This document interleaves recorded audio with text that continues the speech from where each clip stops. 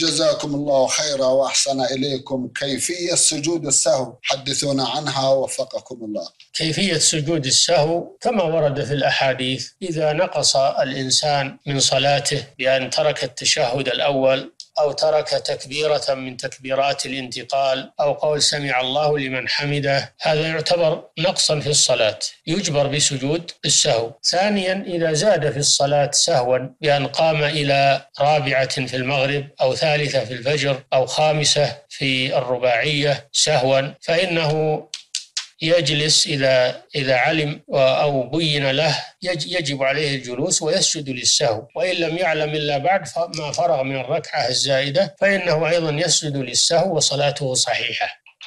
الحالة الثالثة إذا شك إذا شك في عدد الركعات فإنه يبني على اليقين ويكمل صلاته ويسجد للسهو. نعم.